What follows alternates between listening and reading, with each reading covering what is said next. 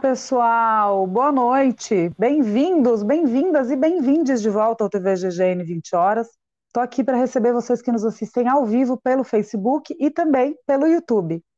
Vou dar bom dia, boa tarde, boa noite para vocês que nos assistem fora do horário do ao vivo. Lembrar a todos que a audiência de cada um de vocês é essencial para a gente seguir aqui produzindo conteúdo na plataforma do YouTube e para ajudar que eles distribuam o nosso vídeo para o maior número de pessoas, eu vou pedir que vocês já comecem clicando no like, por onde quer que vocês estejam assistindo. Também, se estiverem aqui pelo YouTube, se inscrevam no canal. Podem virar membros e membras também, mandar seu superchat ou figurinha, para eu voltar mais tarde e ler essas perguntas. E quem estiver no Facebook, Aqui no, no YouTube também funciona, clicar nessa setinha para compartilhar nos grupos. Grupo da família, grupo de estudo, grupo da escola. A boa informação circulando é essencial para a manutenção da boa democracia. Então, conto com vocês nessa. Também quem está assistindo fora do horário das 20 horas pode clicar no botãozinho aqui embaixo chamado Valeu e fazer a sua contribuição. Todo mundo que quiser receber notícias e novidades sobre o site do GGN tem um símbolozinho em algum lugar aqui da tela, talvez embaixo desse vídeo, uns links, que vocês se inscrevem nos nossos grupos do Telegram e do WhatsApp. Recebem os links de tudo que é postado ali no site.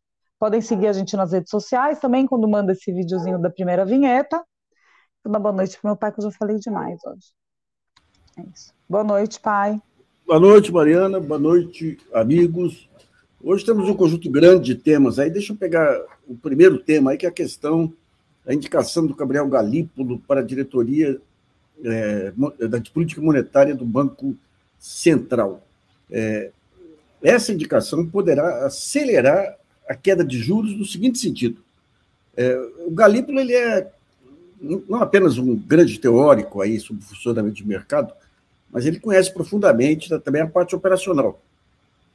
Obviamente, ele, ele e o novo diretor, são dois diretores para serem indicados aí pelo, pelo Lula, eles não têm maioria no, no, no Copom, que é o grupo que define é, as taxas de juros.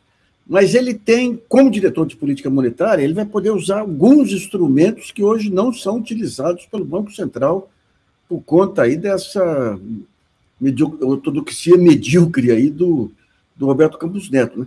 O primeiro é atuar para reduzir a volatilidade do câmbio. Aqui, se os especuladores querem puxar o câmbio, de, de derrubar, o, o, Roberto Campos deixa solto, apesar de ter é, reservas cambiais aí robustas. Então, se você reduz a volatilidade do câmbio, você tem menos, você tem muito mais controle sobre a inflação futura.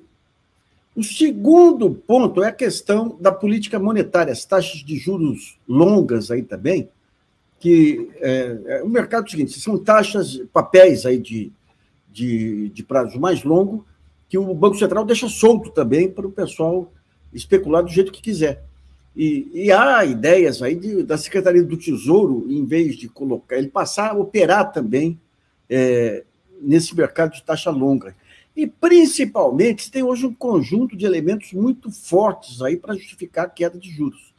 Inclusive, você tem o IGP, o, o índice geral de preços da Fundação Getúlio Vargas mostrando queda. Para todo lado que você olha, tem queda. A única coisa que, que tem alta é na cabeça do Roberto Campos Neto, que induz parte do mercado a, a, a apostar nessa alta. Deixa O que, que acontece? O mercado ele tem que acertar qual que é a projeção do Banco Central. Se está certo ou está errada, pouco importa. Se errar junto com o Banco Central, o mercado ganha. Então, quando tem um presidente que induz aí a manutenção de taxas altas de juros, o que, que acontece? O mercado vai atrás e o presidente usa essa projeção do mercado para justificar a taxa de juros elevada. Então, esse é um outro ponto.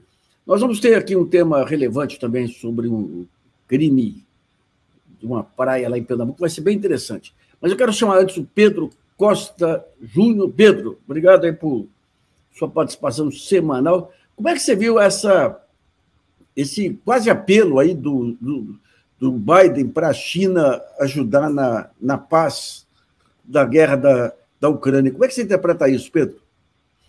Boa noite, Nassif. Boa noite a Mari, toda a nossa comunidade.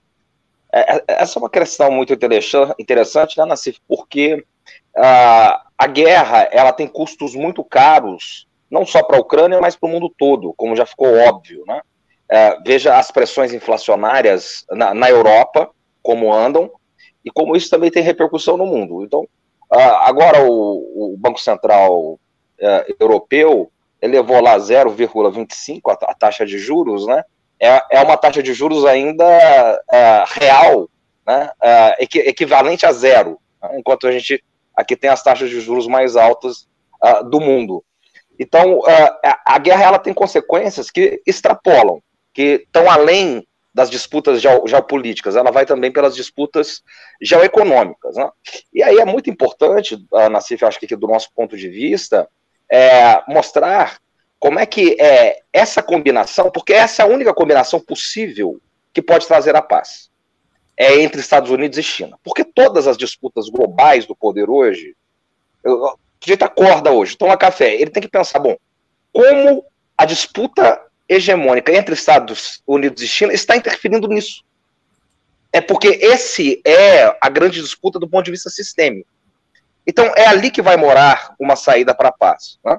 E aí é interessante também o movimento da política externa brasileira, de Celso Amorim, que amanhã vai para a Ucrânia. Ele foi para a Rússia, uhum.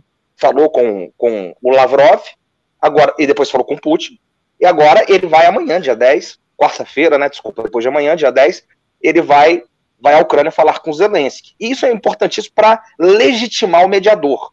Ou seja, é. É, ele faz parte daqueles que falam com os dois lados, com as duas partes. Então, só para fechar, Nassif, esses dois movimentos vêm numa hora interessante. O Brasil, que desde um primeiro momento tenta se colocar com, numa cruzada pela paz, né? Esse governo Lula vai, o governo Lula vai se cruzar numa cruzada pela paz, junto com esse movimento uh, maior que é, é entre Biden e Xi Jinping, que digamos é o movimento que realmente interessa.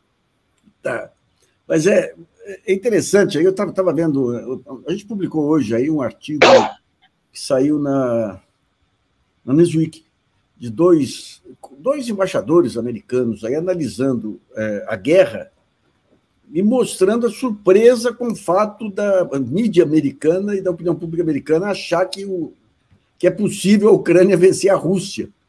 Eles dão um conjunto de elementos, e é interessante, eles mostram, inclusive, a diferença de PIB entre Rússia e Ucrânia, mostra que o PIB da Ucrânia caiu 50%, da Rússia caiu 3%, e esse esforço de guerra da Rússia, combinado aí com o aumento de divisas aí por conta de aumento de preço de petróleo, de fertilizantes e tudo, vai permitir, e também da, da, das empresas estrangeiras que foram embora e deixaram máquinas e equipamentos para serem é, assumidos por empresas russas, a economia russa tá, vai caminhar para uma recuperação, ao contrário da Ucrânia, que está sendo destruída. Né? Mas esse, é, é digamos, essa cegueira da, da, da imprensa ocidental é danada também, Pedro.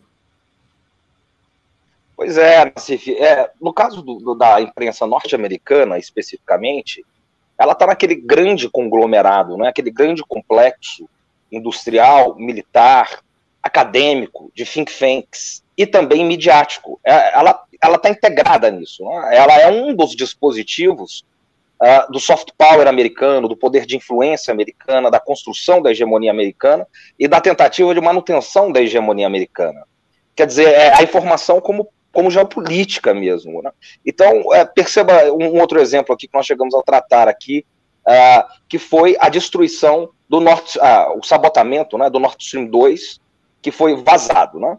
Uh, impre a imprensa internacional do mundo todo apontando para que é, houve ali uma intervenção entre Estados Unidos e Noruega na, na, na sabotagem do Nord Stream 2. Isso nos Estados Unidos não passou.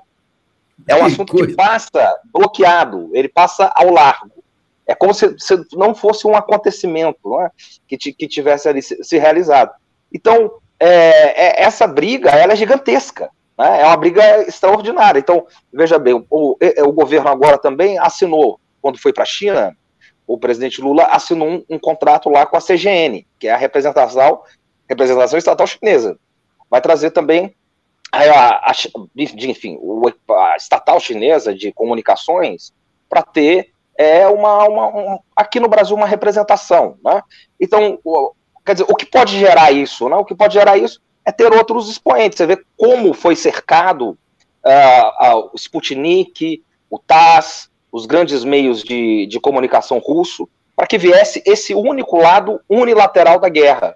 E não há margem para um debate mais complexo, que traga a, as outras visões, né, como você está colocando bem, só para fechar, quer dizer, é, dentro do jogo de, do campo militar, né, a Rússia ela já ela anexou todo o Donbass, que era a região principal, manteve a Crimeia, e vai avançando com, com dificuldades aqui e lá, mas sempre avançando. Agora, do ponto de vista econômico, que é o que os Estados Unidos achavam que venceriam a guerra, com a bala de prata, tirando a Rússia do, do SWIFT, o que eles fizeram, na verdade, foi se enfraquecerem.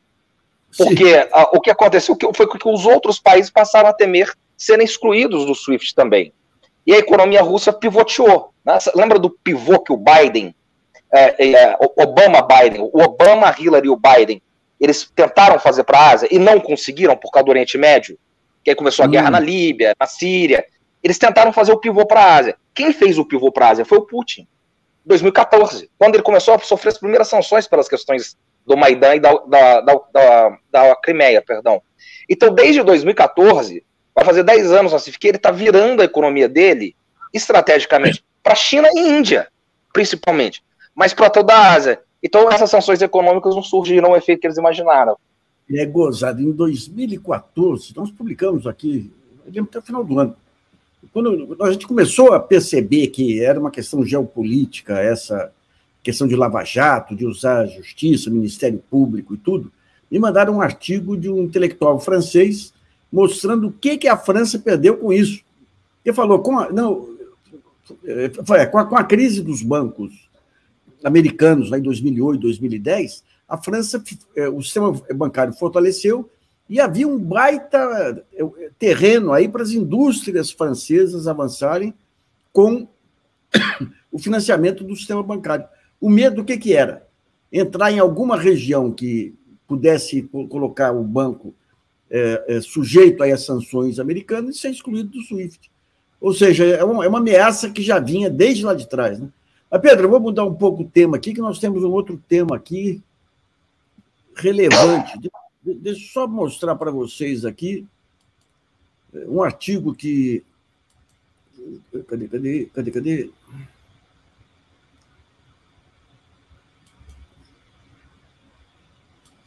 Um artigo aqui que eu publiquei hoje, aí com, juntando informações juntando informações é, que saíram na, na, mídia, tentando dar uma lógica aqui para que são os crimes que ocorreram em Serrambi 20 anos atrás, vão completar 20 anos agora. Tá? Esses crimes aqui eram famílias, eram 12, 10 ou 12 rapazes aí das famílias mais ricas de, de Pernambuco, foram para uma festa aí numa casa eh, na praia de. Eh, essa praia de, de Serrambi, e duas moças, lá depois teve um passeio, um passeio de lancha, uma história mal contada. E duas moças foram na lancha e não voltaram a tempo e teriam tentado aí uma, uma carona e apareceram mortas aí. Daí, imediatamente, teve a Secretaria de Segurança Pública do, para, do, de Pernambuco, entrou na, na, na parada e abriu uma investigação sobre a morte das moças antes mesmo do, do corpo delas aparecerem. Né? E, e, daí pegaram dois é, combeiros. O que é combeiro? O cara que tinha uma Kombi lá para transporte na região. Os dois foram, foram presos, a situação é, aparentemente resolvida, quando o promotor, o promotor da cidade, é, de Pojuca, que é o Miguel Sales, resolveu se insurgir contra a investigação. Diz que a investigação não. Os elementos não, não permitiam é, acusar o, o, o, os dois é, combeiros aí. Eram baseados aí numa testemunha, uma senhora que é, dava tal nível de detalhes que a, as primeiras perícias falaram, poxa, mas com esse nível de detalhes que nunca foram divulgados na imprensa, só eram de conhecimento do, do inquérito isso deu credibilidade para a mulher. Mas o promotor falou: não, se tem esse nível de detalhe, pegou uma, uma, outra perícia, mostrou que era quase impossível que ela tivesse visto tudo isso a 30 metros de distância e, e com noite e tudo mais lá. É, então, percebeu que havia, poderia ter havido aí algum acerto entre o secretário de Segurança para desviar as investigações aí. É uma história muito interessante aí, porque esse promotor ele, ele, ele conseguiu é, é, pedir é, mais inquéritos aí, mas também vai à Polícia Federal, confirma. Nunca foi contado adequadamente. E uma das pessoas, na, na, casa, a casa em si tinha, era de propriedade de um, de um rapaz lá, o Tiago, que hoje é presidente da Associação Comercial é, de Recife. Mas a 200 metros tinha o, Tiago, outro Tiago, que vem mudar o nome depois para Tiago Brenan, para Tiago Brenan. E as suspeitas pegaram muita gente lá e se concentraram também nesse no, no Tiago Brenan.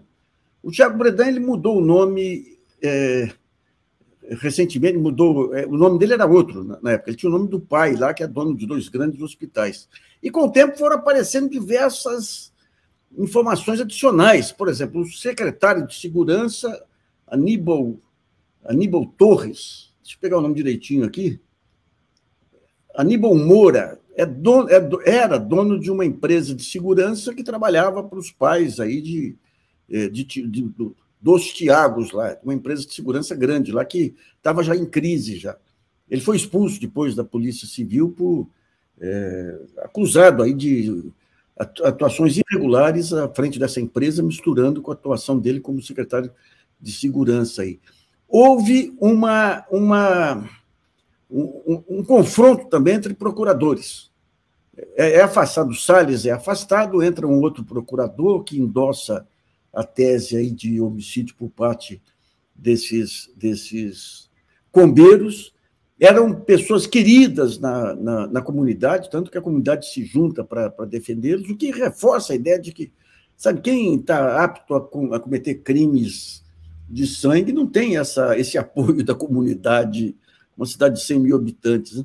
E daí aparece, tempo depois, aparece em cena aí o Tiago Brenan. O Tiago Brenan tem um episódio aqui em São Paulo, que ele agride uma, uma modelo numa academia de alta classe, que não dá para passar em incólume aí, e daí começam a aparecer, começa a aparecer a história dele, em vários lugares, inclusive com a família. As irmãs dizem que daí faz 20 anos que não tem contato com ele, 20 anos é o período da, em, que houve, em que houve o assassinato das moças aí. O pai, em 2018, aí ele colocou um documento dizendo que se algo acontecesse com ele, o, o culpado era o filho. Ou seja, um cara de alta periculosidade admitido pela própria família. O nosso entrevistado é um jornalista. De, é interessante que as melhores informações que vêm de lá é, vêm, vêm, vêm, vêm pelos blogs. E o nosso entrevistado é o Ricardo Antunes, que tem um dos melhores blogs aí de, de Recife, que foi que, quem descobriu a mudança de nome aí do, do, do, do, do Brenan. Agora, Ricardo, a gente conversou, conversou antes aí. É, você tem é, dúvidas também sobre. É, é um crime que não foi resolvido mesmo, né? nem, nem, nem fora, fora, fora do processo legal aí, você tem certeza sobre o que aconteceu, né? Boa noite, Nassif, boa noite, Pedro, Mariana aí que está no backstage, faz um, é um prazer falar com vocês. Mas é um caso, Nassif, que você, como você colocou bem, é envolto em muito mistério.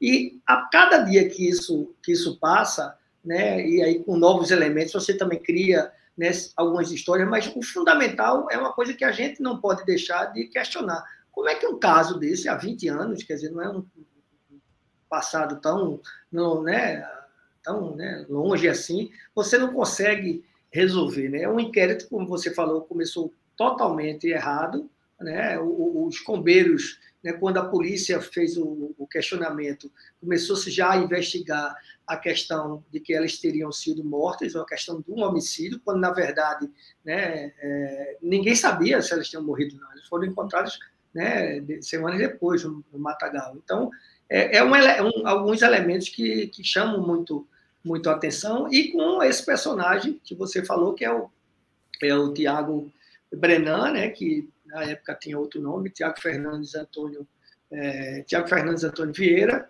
e que recentemente, há cinco anos atrás, ele troca o nome, né, ele já está em São Paulo, né, a, gente, a gente deu essa, essa informação, ele já estava em São Paulo, a gente já sabia quando começou a, a ter o, a questão aí das, das confusões que ele arrumou em São Paulo. Só que ele troca o nome, né? Muita gente até pensou que de uma forma fraudulenta. Na verdade, a mãe dele é uma Brenan. Sim, Quando a mãe sim. dele casa com o pai dele, né, o José Aécio, que é o, é um dos hospitais aqui, ela deixou o nome Brenan de lado e, e incorporou o Tavares, o Vieira, o Fernandes Vieira. Ela é Tavares, a família Tavares. E aí, pouco tempo, agora, né, acho que faz cinco anos gente deu essa, esse material, ele incorpora né, o nome de Brenan para fugir dos inúmeros processos que já estavam se avolumando. Ele, é, Nassif, é interessante a gente falar, há 20 anos atrás já tinha uma série, mas assim, é uma série de, de, de, de brigas, de relatos de de agressões, já brigou no shopping center, já brigou num restaurante, já brigou numa praia. Existe até um caso que também foi até colocado como um caso Serrambiço, muito depois até da morte das meninas, em que ele estava no jet ski na praia né, de, de Serrambi, onde ele tinha casa, né, né? Ele tinha, na verdade, a casa de Toquinho, né? Serrambi um pouco antes, Toquinho depois. E aí ele fazia manobras arriscadas, né? Junto né, com o seu jet ski, isso, né? Pouco mais de 20 anos, e aí uma procuradora foi tomar satisfação, era a esposa de, de uma pessoa ligada à cultura, que canta aqui, o Aluzio Maluf, tornou-se a maior confusão, o caso foi parar na delegacia, teve outro inquérito, então, assim, se você for, se a gente for parar para fazer, tá certo, os crimes e as confusões que Tiago é, Brenan se meteu aqui no Recife, você diz que é impossível que ele não esteja, né, pelo menos, sabendo de alguma coisa dessa história. Agora, você, pelas informações que você colheu, os amigos dizem que ele não estaria na casa quando teve a festa lá, né? Não, exatamente. Eu conversei com o Tiago Carneiro, ele, ele é, não quis dar entrevista, mas ele deu essa informação, disse que a gente poderia usar aqui. O Tiago Brenan não estaria nessa festa. Na verdade, tinha o Tiago Vieira, tá, nessa festa, e tinha também outra pessoa chamada Tiago, é chamado Tiago Macaco, um apelido que ele tinha aqui em Boa Viagem, ele era surfista também, e você tem, de certa forma, esse, essa, essa, essa, essa palavra do, do Tiago. O fato é o seguinte, e aí se, é, se coloca uma questão é, muito interessante na cifra. Ele diz, no depoimento, ele não chegou a ser indiciado, tá? ele foi ouvido no, no, no depoimento sobre o caso das meninas, mas ele diz que estava fora do país, que estava estudando fora do país. E não há, no, no, no processo, pelo menos, se eu estiver enganado, me perdoe, eu não vi nenhuma prova, uma foto, uma, uma, um diploma, uma, uma um, um, documento que ele estivesse estudando fora. Eles têm casa, a, a, família tem casa em Londres, mas não existe esse documento. O único documento que existe, a gente mandou aí é, para você, foi fruto também de uma investigação nossa que ele diz que é, é, é um documento assinado por dois delegados, que é como se fosse uma certidão, né? Um, você quer, ah, vou, vou faltar um emprego, eu tenho que talvez aí tem que ter uma certidão, fiquei doente, então é uma certidão que um delegado diz, dizendo apenas que é, para, é, para o que interessa possa, para o que você é, é, em, em, caso precise, declaro que Tiago Fernandes Vieira, Antônio Brenão foi investigado e não foi, não, não estava aqui. Ou seja, é uma declaração de um, de um delegado que, obviamente, né, pode ser muito bem conseguida através de outros métodos. É. Então, assim, praticamente 90% de Pernambuco acredita no envolvimento do Tiago Brenan e praticamente 90 não, mas 80% seguramente que os bombeiros foram vítimas aí de uma, de uma, possível armação e que eles são inocentes nesse caso. Olha, tem um, um, dos nossos colaboradores aqui que era professor da FAP, quando o, o Tiago Brenan veio estudar na, na, na FAP também, disse que já era um encrenqueiro de marca maior. Eu vi até uma nota que ele agrediu uma moça porque o cabelo dela bateu na tela do computador dele que estava Agora, como é que é possível um sujeito que deixa que a mãe se sente ameaçada, que o pai chega a registrar em cartório, é, não é algo banal. Se acontecer alguma coisa com ele, é ele fica solto tanto tempo, Ricardo. Não, exatamente. É, é, é, na verdade é o seguinte, a justiça né, pernambucana, o Tribunal de Justiça de Pernambuco nunca condenou ele na segunda instância. Ele teve uma condenação ou duas, acho que na primeira instância, mas os casos sempre paravam no Tribunal de Justiça de Pernambuco. Então, na verdade, ele nunca, nunca foi condenado. Né? O, o Tiago Vieira até foi o único condenado, no caso, ele foi o único condenado por conta da, das bebidas tal. É, é o dono da casa, né? É que é o dono da casa, mas foi inocentado depois pelo Tribunal de Justiça. O, o, o interessante em relação a, a Tiago Brenan é a série, como você falou, de, de confusões que ele fez. Ele fez uma confusão, inclusive, com a irmã, você se lembra, do ex-governador ex-ministro da Educação, Mendonça Filho ela, o nome dela é Andréa, e ele teve uma confusão com ela, disse que ela era feia. Você está olhando para mim por quê? Porque você é feia, baixinha, e ela enfrentou ele, ou seja, né, foi uma confusão. Ele fez uma confusão em relação à questão do, do jet ski. Tem uma confusão também que ele teve uma briga na, na academia, ele teve uma briga, umas cinco ou seis brigas. Uma delas é que o rapaz dizia, o rapaz chama Bruno Reis, né, hoje é, faz é, produtor de eventos, e dizia: Ó, oh, Tiago, eu não quero brigar com você, rapaz, não me irrita. E Tiago ficava insistindo numa, numa, brincadeira, e aí ele marcou, disse: Não, vou pegar você lá fora. E saiu da, da academia, que fica até no shopping Rio Mar, que é o, o shopping é, mais novo aqui do Recife, isso talvez cerca de 10 anos, 15 anos, e ele saiu debaixo de tapa. E aí depois o que é que faz Tiago? Só para vocês terem uma ideia da, da personalidade meio sociopata do rapaz. Ele faz uma, esbo, uma emboscada, né, cinco dias depois, tá com um carro né, e quatro pessoas, né, muita gente disse que eram, eram agentes da polícia, e desce com um taco de beisebol para agredir o Bruno. Ele segue o, o, o Bruno, isso aí não, ainda ninguém contou. Ele segue o Bruno, né, o, e aí dá uma fechada, e aí o Bruno fica com medo, imaginando até que seria um, um assalto, e aí ele desce e desce com um, um taco de beisebol, não desceu com a, né, não desceu com um taco de madeira, é um taco de beisebol, beisebol mesmo, e começa a bater no rapaz que, te, é, que tinha lhe dado uma surra, e aí chega, por, por sorte, uma, uma, uma, viatura do Detran, né, que é o Departamento de, de Trânsito, e aí contorna o ambiente ele foge. Então, assim, é, o rastro de pessoas já agredidas, de pessoas que fizeram, é, que, que foram né, não só é, destratadas moralmente,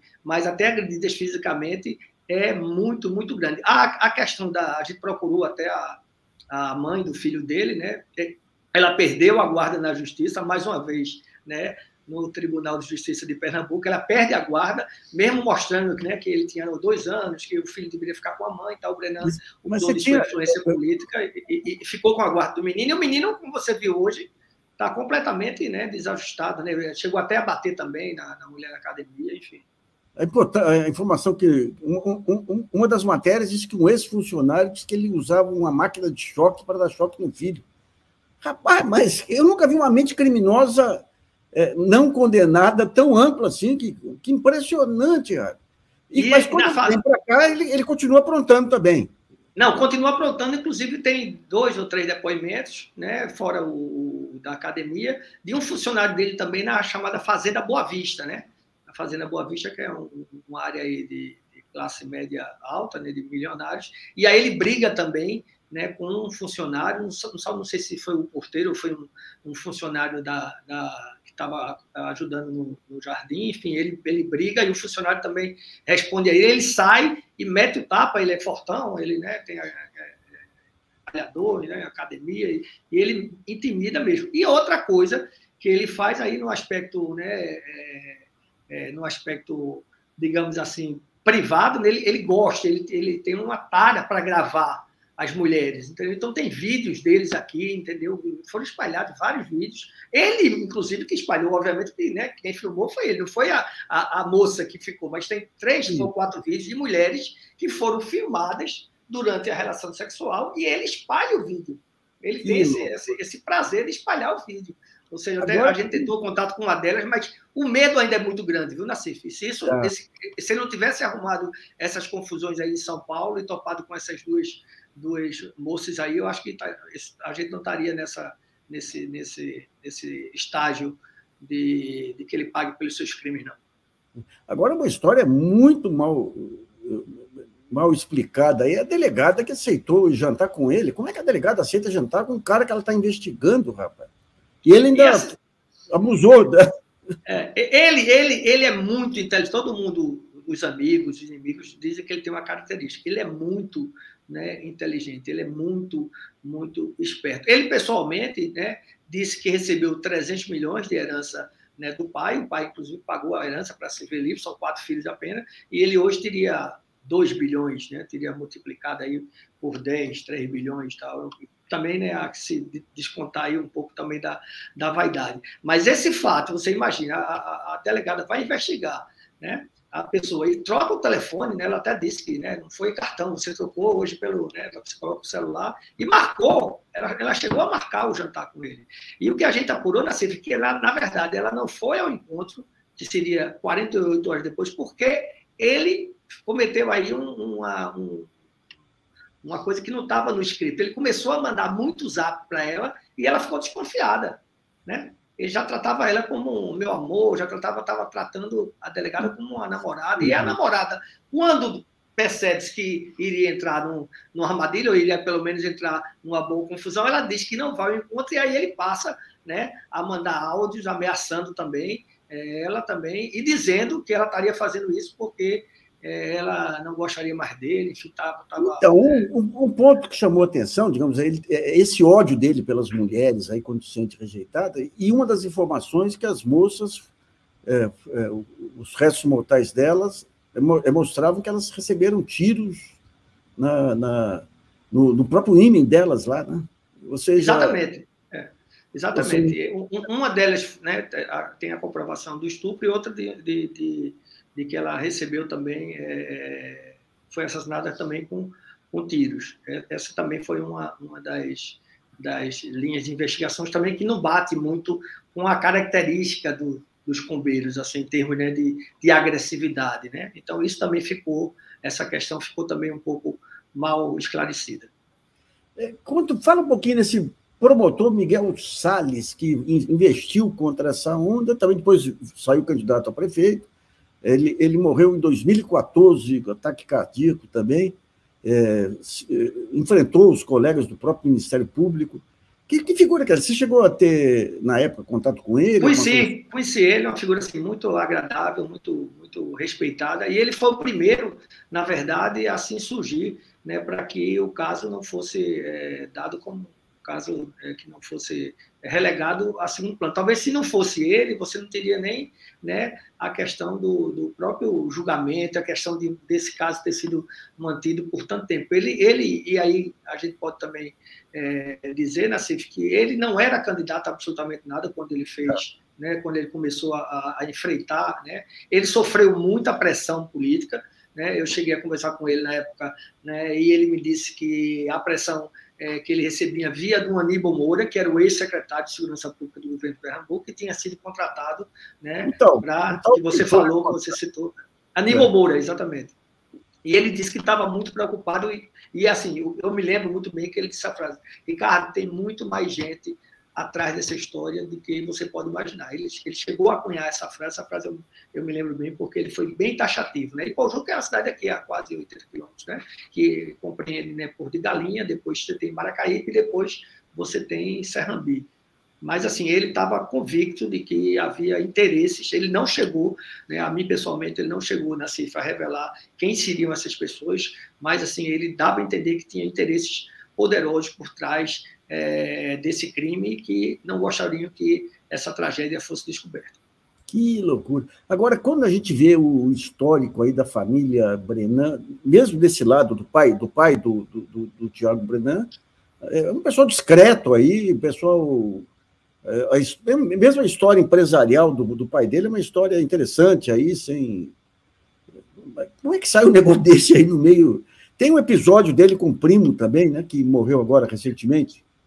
É o primo que eu tive, é, é, até né, pela, porque estava também investigando o caso, eu, eu, eu, fiquei um pouco próximo tal, e ele, é, salvo engano, foi, a matéria foi do é, Valami Salário, né, e, e, com que ele revela que o Tiago Brenan é, envia para ele um caixão.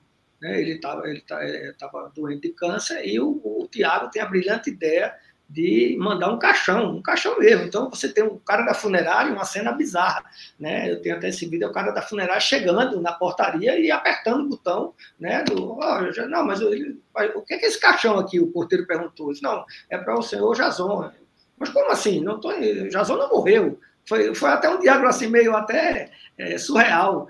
E aí o primo dele né, desce e ele ficou mandando vários áudios dizendo que o primo iria morrer. Chegou também a mandar uma coroa de flores e o que o primo me revelou é que ele é, poderia até não ver Tiago na cadeia. Isso ele, ele me deu, ele falou comigo através do áudio, disse, ah, talvez eu nem viva para ver Tiago na cadeia, mas do céu eu vou festejar quando ele vai ser preso. Não existe a menor possibilidade né? E agora com essa fuga para Dubai, para os Emirados Árabes, de ele ter dele, dele, dele, dele não, ter, não ser extraditado e não ser preso. Ele tinha essa, essa convicção. E eu tive no velório, na foi um fato que chamou muito minha atenção, porque obviamente são primos, né? E tava todos os filhos, né, do Dr. José Aécio lá, todos os irmãos, os irmãos de, de Tiago Brenan estavam lá. A Marília, né, o José Aécio filho e o Bruno. Então todos os filhos do José Aécio, irmãos do Tiago Brenan, estavam lá no momento né, da despedida. Foi até numa cerimônia é, realizada no Clube Náutico do Caparibe, né, o velório, e a, praticamente Recife inteiro foi prestigiar. Uma pessoa muito querida, mas que morreu assim, lutando e dizendo que é, queria. É, tinha que ter um basta nisso. Ele, ele, ele, deu um depoimento também muito grande também para o, o Ministério Público aí de São Paulo, e era uma pessoa assim, que estava convicta de que Tiago Brenan teria que pagar por seus crimes. Deixa eu pedir para a Mariana trazer as questões aí, Mariana. Tem, tem, tem muito conterrâneo seu aqui com informações aqui também, viu? Vamos ler aí. Vamos lá, boa noite, Ricardo, boa noite, Pedro, boa noite, pai, e toda a audiência que está nos acompanhando aqui nessa segunda-feira. Agradecer e lembrar que as formas de contribuir estão aqui na tela. E não estão mais, eu vou colocar aqui no layer, então. É, e daqui a pouquinho. Vocês ficam aí aqui, achei, olha só. Tem aí o nosso Catarse, tem aí o nosso Pix. E vamos lá aqui as perguntas. Bom, antes de mais nada, agradecer o Paulo Coelho, que mandou sua contribuição rotineira aqui para gente. Valeu, Paulo. O Caê está aqui perguntando qual é o partido do Aníbal Moura. Naquela época, da basicamente só existiam dois partidos. É, é né? é, Aqui era, ele, não, ele não era de partido. Né? Na verdade, eu acho que ele quis perguntar sobre o, o, o promotor, não, Mariana? O Aníbal Moura era o secretário de Segurança Pública e tinha uma é. empresa privada. Acho que foi o promotor. É. Ele perguntou várias vezes sobre esse mesmo nome, então eu vou esperar ele se manifestar aqui. Ele não foi candidato, o Aníbal não foi candidato. É, exatamente, ele, ele era agente de segurança. A Salete coloca, nossa, Nacife, fiquei passada com a história do crime que você publicou no GGN. Crime? É de uma, ali, ali é, uma, é um compêndio de crimes, viu, Salete? Muito breve, né? Muito breve ainda. Aqui a Miriam fala, Ricardo, você é muito jovem, leia as reportagens da época e encontrará nomes importantes. Ele foi mandado para o exterior após os assassinatos com outro colega que estavam na praia. É, na verdade surgiu essa tese, mas é como eu disse, ele também foi né, estudar no exterior, mas acho que muito tempo depois, não foi logo desse, desse crime, não. Tá. Ah. Bom, aqui alguns comentários falando, morreu de infarto por desgosto, seu Miguel foi um guerreiro. Está tá, tá mencionando o promotor Miguel Salles. Miguel Salles, é. É, Ministério e que Público. fala que o pai de Tarsila Salles Morreu atrás da, correu atrás da verdade até o fim da vida, achou os corpos, morreu infartado. Que Também, é verdade. É isso, nossa. Agora esse o... daí, os mesmos corpos é, do que esse, gente, que disseram que foram os pássaros que consumiram, um absurdo, sete dias e os corpos só estão os cabelos e os ossos? Exatamente. É, o que aconteceu é que, é que, no, é que a, a, polícia, pelas informações aqui, ela descaracterizou totalmente o local dos crimes, aí não fez perícia na casa onde teve a festa, e foi uma, foi uma coisa. Demorou também, Nassif, a ouvir os envolvidos.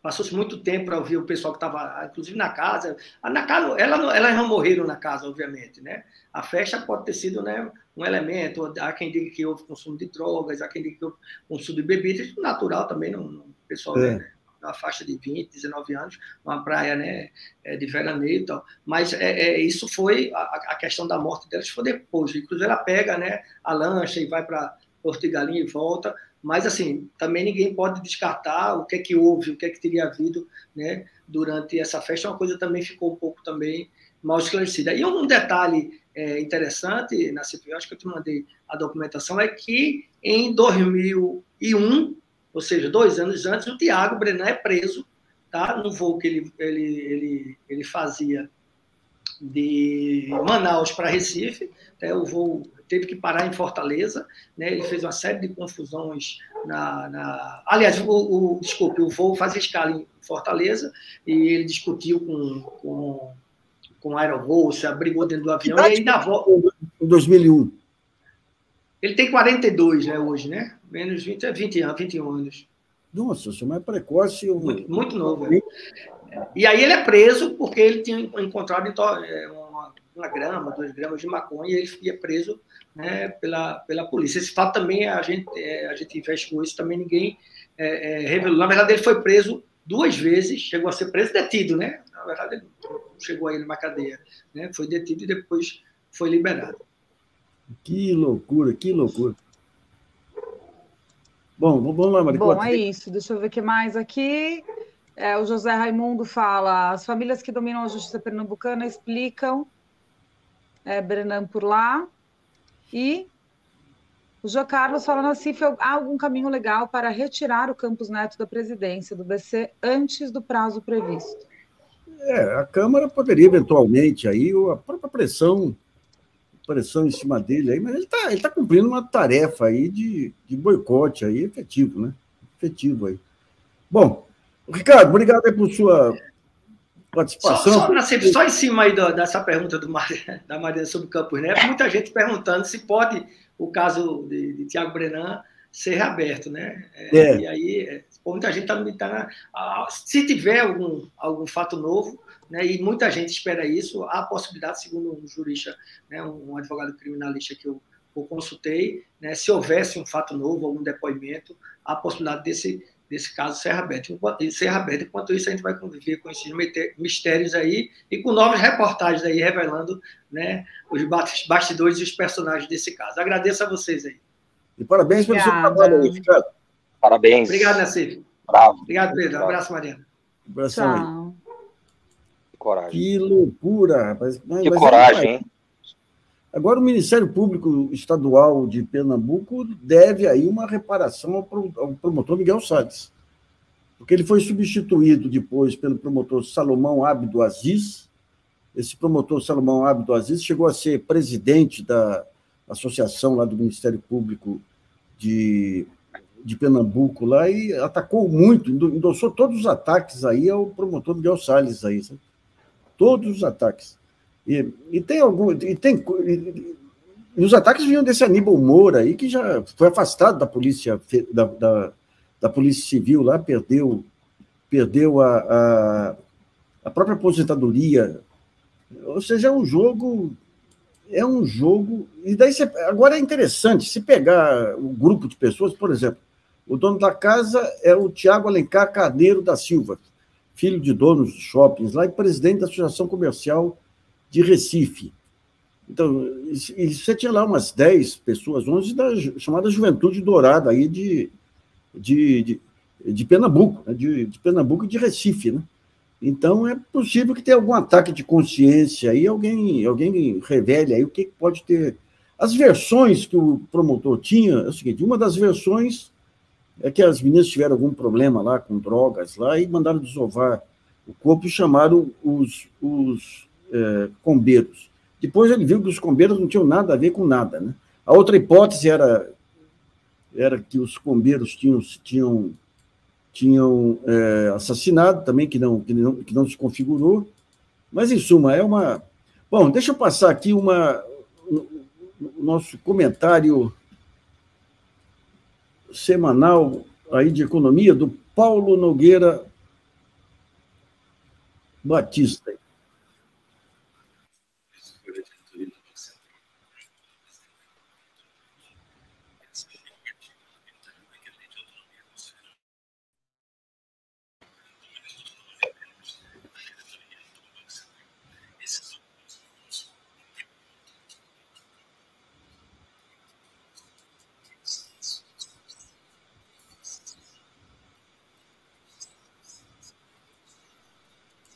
Pai.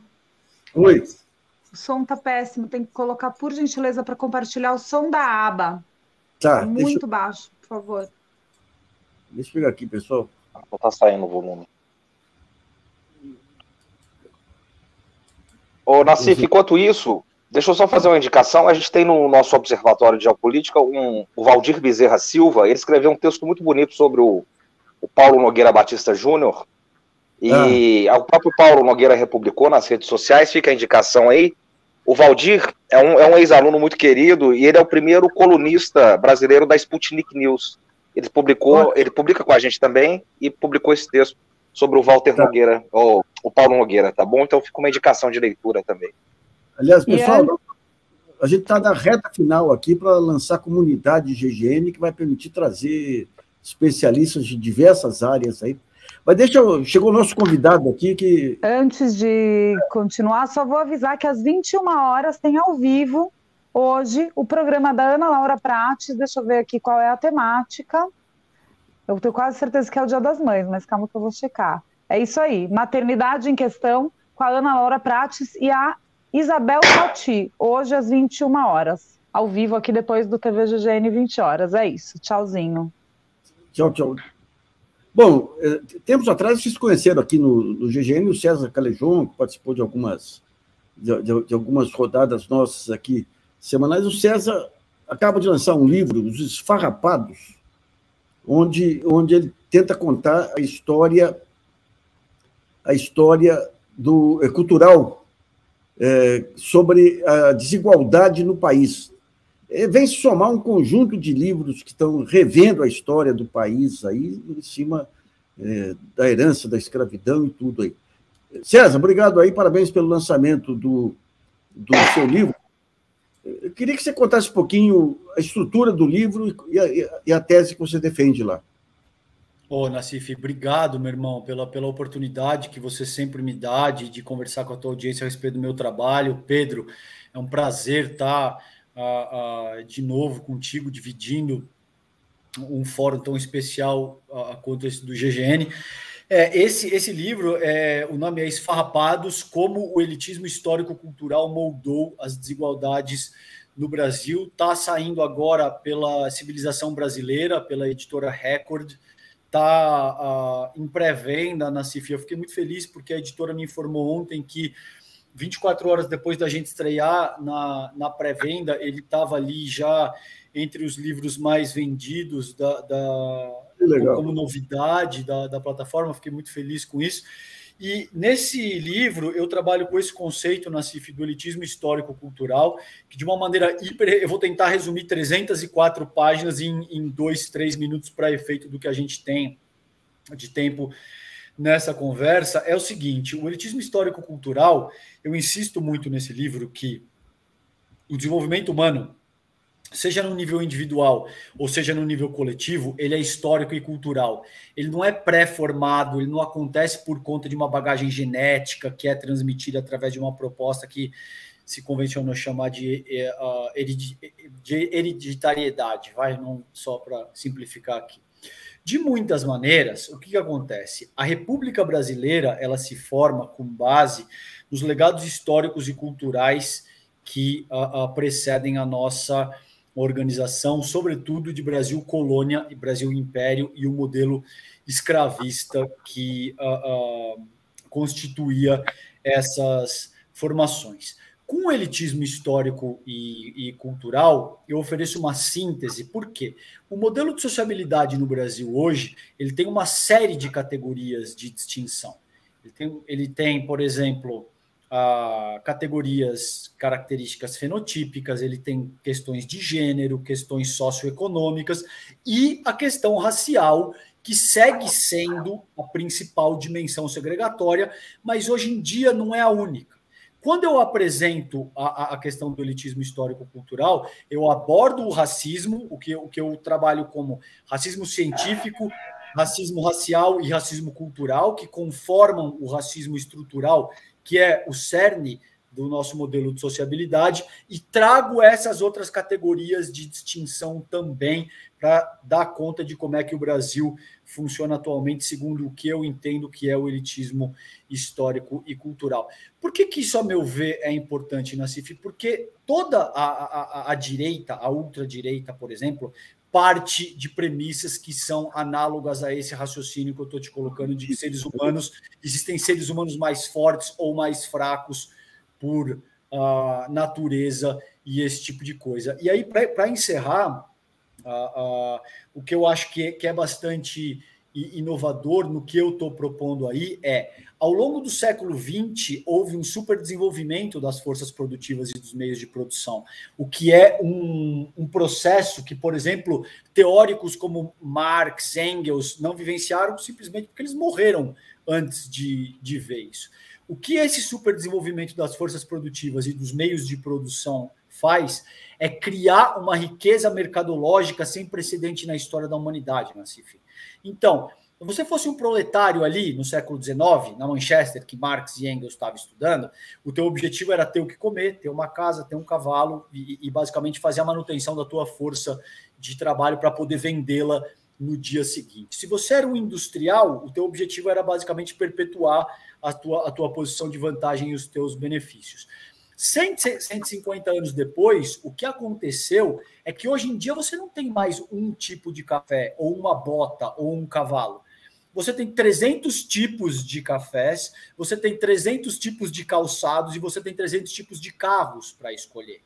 Com base na proposta que diz que as relações humanas se organizam com base na materialidade que requer, na, na reprodução da, da vida material, a gente tem hoje um modelo muito mais elitista do que em qualquer outra fase histórica a, a, a uhum. qual, a, em qualquer outra quadra histórica na qual a gente já esteve. O que isso faz é, para muito além de criar uma luta de classes, é criar uma luta dentro das próprias classes. Hum. Você passa, por exemplo, ter a classe trabalhadora competindo entre si, motoboy competindo com motoboy, porque um tem o tênis Nike, o outro quer o tênis Nike, porque se ele tiver o tênis Nike e uma moto X ou Y, ele vai ter mais chance, por exemplo, de paquerar alguém na comunidade na qual ele, ele mora. Só estou trazendo um, um, mero exemplo para colocar em perspectiva, na prática, aquilo que eu estou priorizando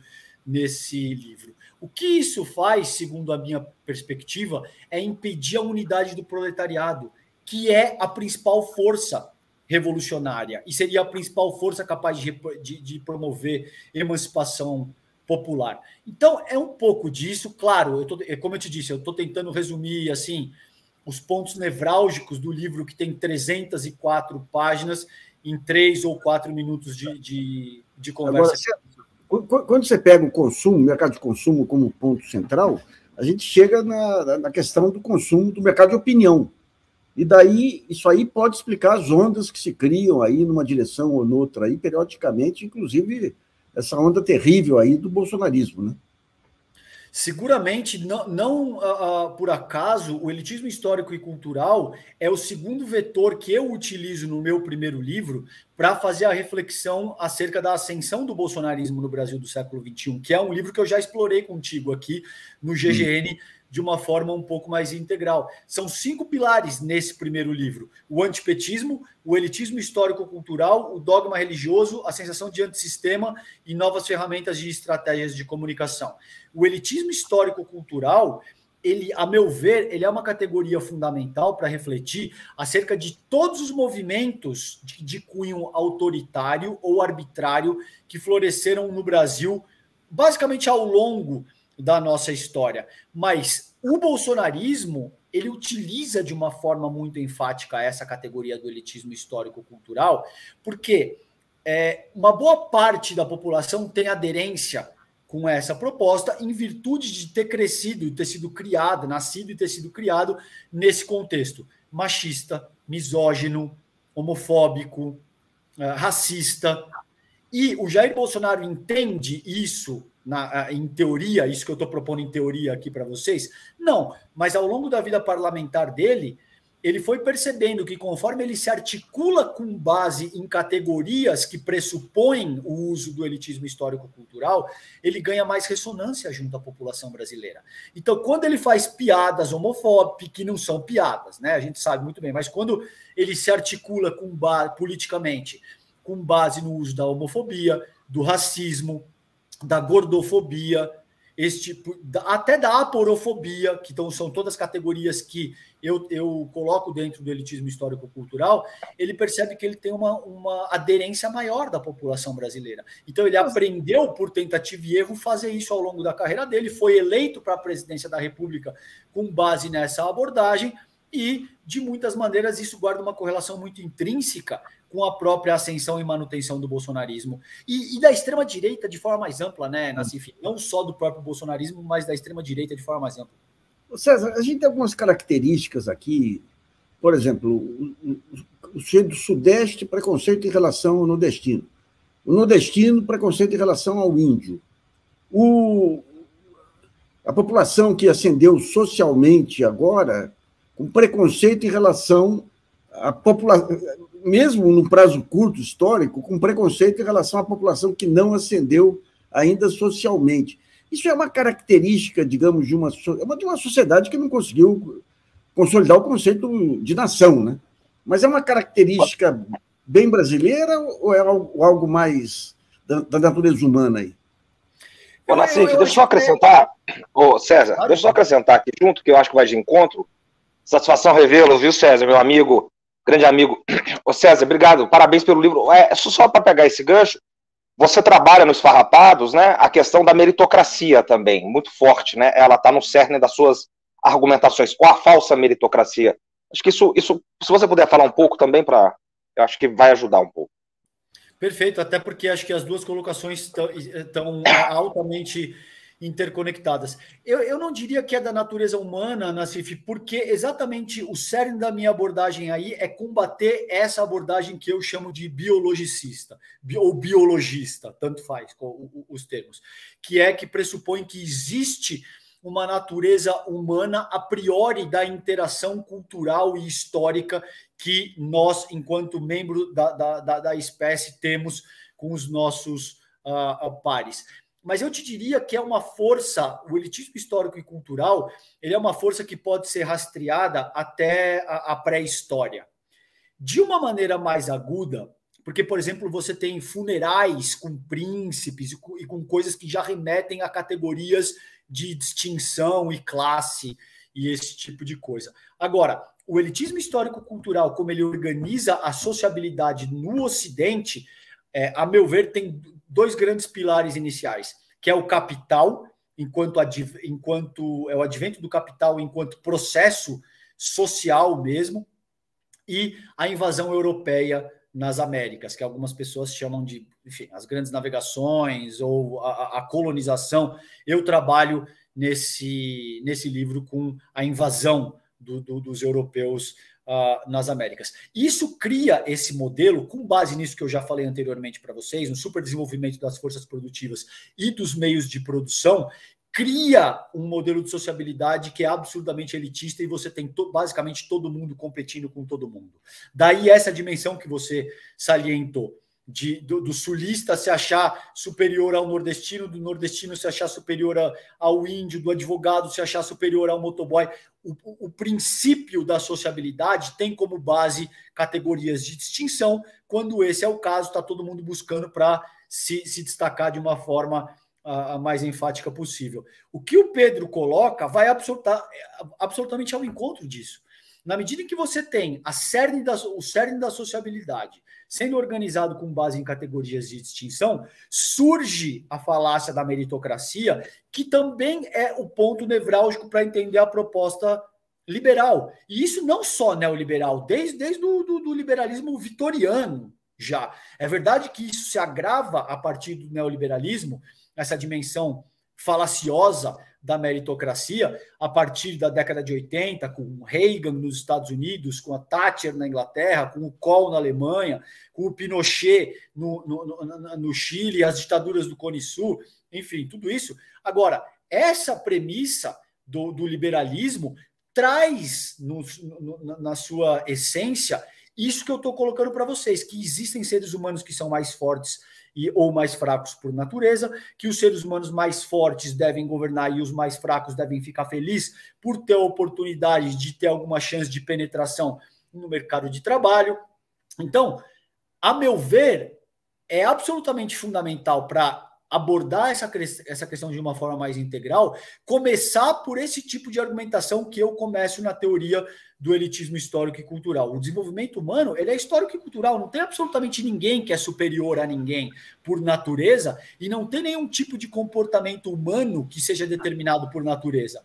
A, a tua parte biológica diz que você tem que tomar água com certa periodicidade, que você tem que dormir com certa periodicidade, que você tem que fazer necessidades fisiológicas com certa a, a periodicidade e que você, você precisa de afeto humano, que você precisa de contato com outros seres humanos. É basicamente isso. Todo o resto é, é adquirido através de construções históricas e culturais, com o contato que você tem com os, com os pares da tua espécie. Então é basicamente por César, Infelizmente, o nosso tempo encerrou, a gente vai ter um programa logo em seguida, mas vamos marcar uma outra rodada com mais Bom, tempo para tá explorar bom. essa temática que é da mais alta importância. Então, um abraço para você, um abraço para o Pedro aí. Pessoal, muito obrigado aí. Voltamos amanhã. Um grande abraço a todos aí. Um abraço, querido. Parabéns, César. Parabéns, viu? Obrigado, obrigado, Pedrão.